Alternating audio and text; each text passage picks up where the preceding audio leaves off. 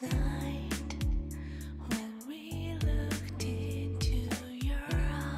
guys, welcome back to Tactical Expedition. Today, I want to show you this problem. This is an automatic charging door and sometimes it gets cut like that. That's a big problem. So once in a while, you charge it for a long time and you don't do anything about it, this happens. So when you do that,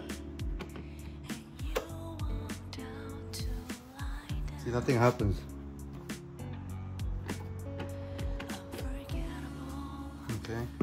Put some power into the car, turn it on. So I just turn on the power. So what you have to do, try it again, it's gonna get caught, okay? I found a way to fix it pretty quick. Um, it will do that again a little bit later. So even if you do it again, it's not gonna do it. You just have to wait about a minute for the power charge port cover to activate. And this is the message you get right away on the warning light for charge port cover impaired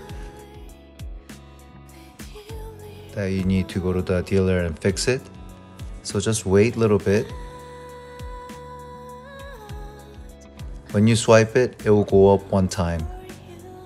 You have to hold on to the lid for it to recycle or repair. See, it goes up, hold on to it, and then it will reset again. Then when it comes down, it'll come down slowly, but it will close. Let it stand there or let it be there for about five minutes. Then it will work perfectly without any hitch, and all the warning lights will be turned off. That's what you have to do. That's the quick fix. Uh, the audio didn't get recorded when I was talking, but that's how you fix it real quickly. If you see that happening, just swipe it once. When it comes down, just hold on to the power charge cover door and it will reset and it will go up and it will go down perfectly. So it seems like it's all fixed. Let's try to close it again.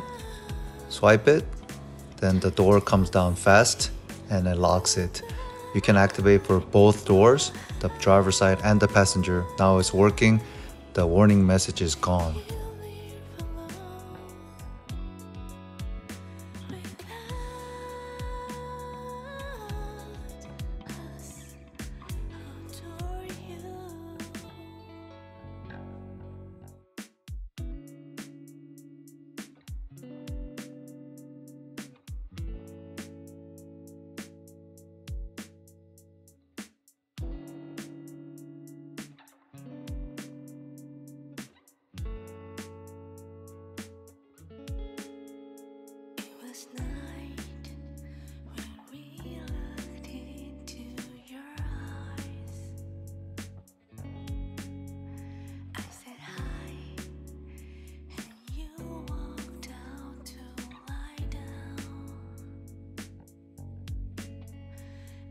last night.